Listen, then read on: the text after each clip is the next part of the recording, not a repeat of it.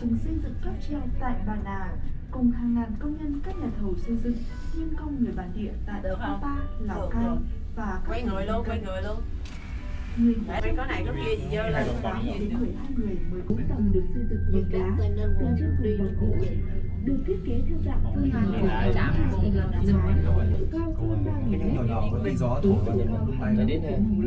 Nó đi xong Bà nào Về cái làn nước à em đeo này